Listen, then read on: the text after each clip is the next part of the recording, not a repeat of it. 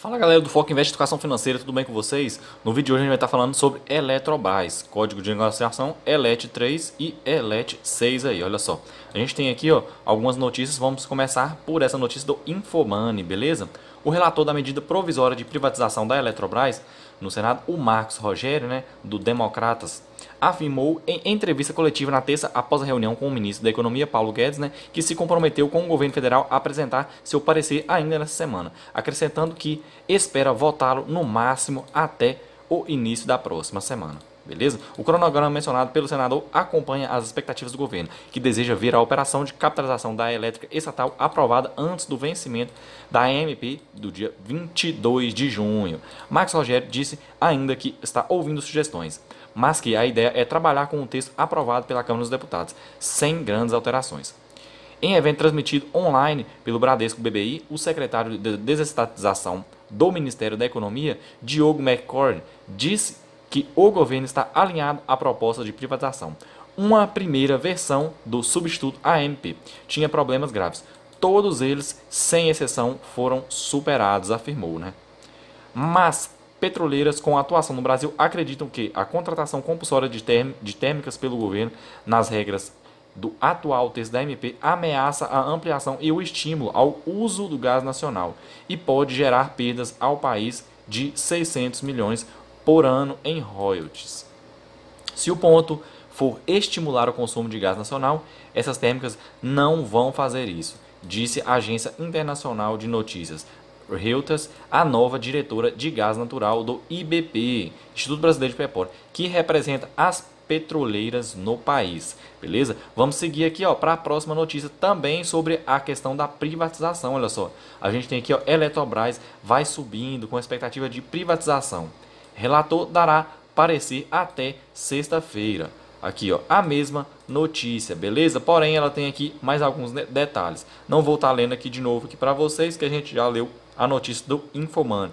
Essa notícia aqui, pessoal, é da Suno. Quem tiver interesse aí, tá pesquisando aqui, ó, Suno Notícias Eletrobras, beleza? Vamos seguir aqui, pessoal, tá analisando um pouquinho sobre a Eletrobras para vocês. Quem não conhece a empresa aí, ó, olha só, Hoje ela está aí, estamos ainda em horário de pregão, aproximadamente ao meio-dia. Ela está aqui em 45 e 55 com uma alta de 0,71.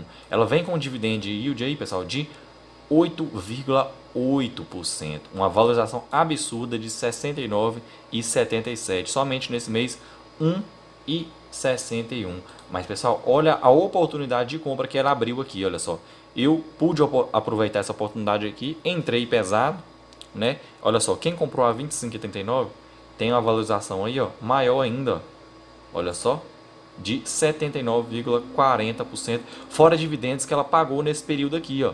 Quem comprou aqui tá com dividend on cost aí, né, um yield on cost, né, na faixa aí de 12 a 15%, né? Não me recordo agora o cálculo.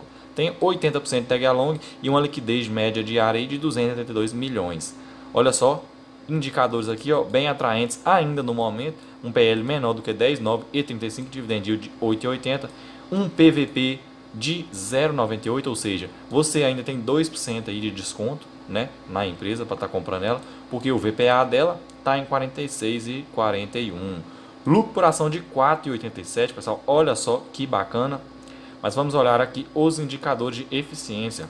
Todos aqui bem atrativos, olha só. O menor que a gente tem a margem líquida de 25 e 19, margem bruta de 69,85. Olha só o indicador de rentabilidade aqui, não muito atrativos, né? É uma estatal, é o risco que a gente está correndo aí dessa questão também de rentabilidade reduzida. ROI de 10,49, ROIC de 6,99 e ROA de 4,31. Crescimento de receita, pessoal, vem aí negativo, né? Fora a questão da do dedo do governo que a gente tem aí, essa troca de comando dela que ficou aí, gerou bastante problema, né? Recentemente aí, foi o que ocasionou essas quedas aqui, juntamente com o risco Brasil, beleza? Mas quem soube aproveitar a empresa, acreditou na questão da empresa, lembrando que a Eletrobras, pessoal, ela é a maior companhia aí, né, no setor do Brasil, né? Vou estar tá mostrando para vocês alguns resultados também dela aí do primeiro trimestre. Olha só, atualmente a gente tem aqui ó, 86 contratos com 352.805 ações, um volume de 16 bilhões aí. Até pouco meio baixo aí, né? Relacionado à liquidez média diária. Olha só a questão dos dividendos aí, pessoal.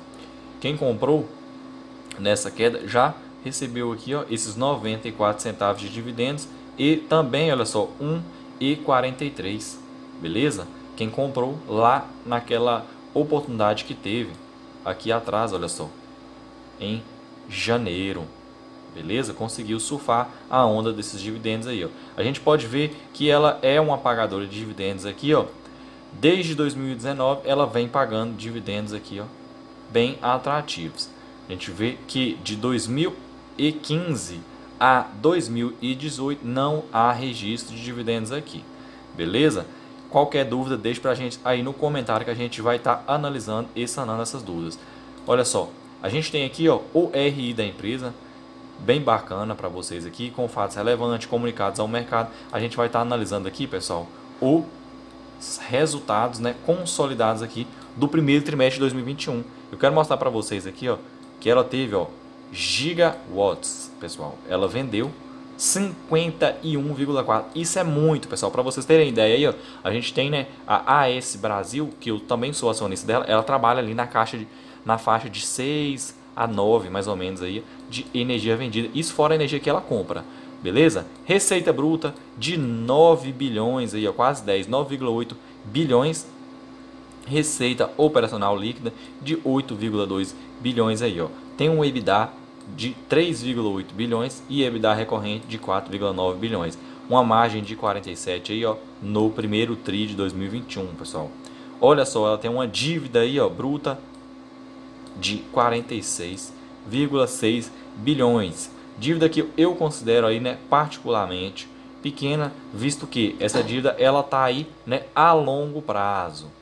Beleza? Lucro líquido, pessoal, de 1,6 bilhão um lucro aí, né, bem elevado e chega próximo, né, a lucro de grandes empresas aí como Vale e até os bancões. Ela vem realizando aí uma rodada de investimentos também agora de 519 milhões e reduziu, olha só que bacana aqui, o número de empregados, beleza? Menos 400 e poucos empregados aí, ó, uma redução de 3% aí dos empregados. Lembrando, pessoal, que ela está passando, né, por momento importante dessa questão da privatização. Se houver essa privatização, acredito eu que vai ter né, uma melhora na eficiência da empresa, dentre outros. E se melhorar a eficiência da empresa, vai ter uma melhora no lucro, crescimento de receita e crescimento de lucro no longo prazo. Consequentemente, a gente tem crescimento de cotação, como eu sempre falo para vocês aí. Beleza? Se cresce tudo isso, a gente tem também um crescimento de dividendos. Lembrando que é uma empresa de um setor perene, setor de elétricas aí e a maior atualmente do Brasil.